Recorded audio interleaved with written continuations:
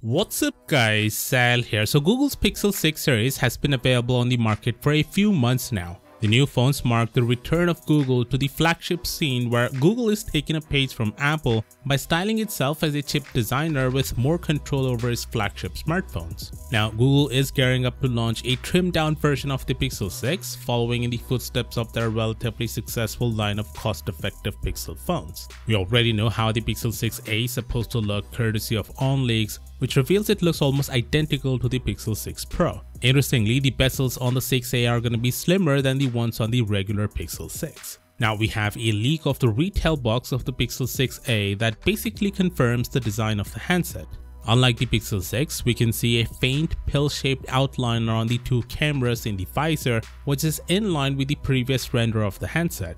We don't know whether or not the back is made from glass or plastic to keep the cost down, but what we know is the camera specs. It's gonna have the same camera specifications as the Pixel 6 except for the main camera. Instead of 50 megapixel, it's gonna be 12 megapixel sensor we have on the Pixel 5. The Pixel 5 still takes amazing photos, so this shouldn't be a problem. The Pixel 6a will have the same tensor chip we have on the Pixel 6 Pro, so that likely means the Pixel 6a will offer the same tensor powered features as its flagship counterpart, features like Google Assistant voice typing, live HDR, and on-demand translations. Other information includes a 6.2-inch OLED Full HD Plus display and an under-display fingerprint sensor. The storage will start at 128GB with 6GB of RAM. To be honest, the Pixel 6a is gonna be one of the best or maybe the best upper mid-range phone of 2022, provided the price is right.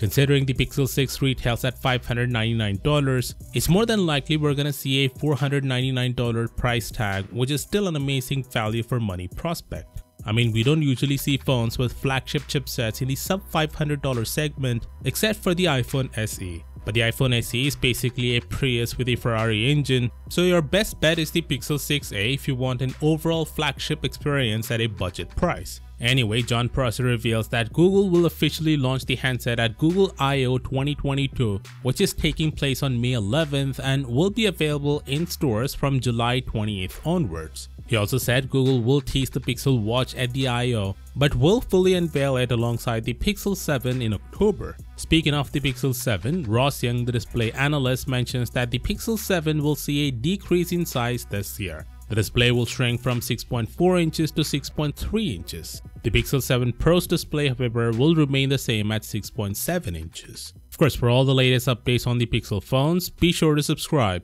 And as always, I'll see you tomorrow. Peace out.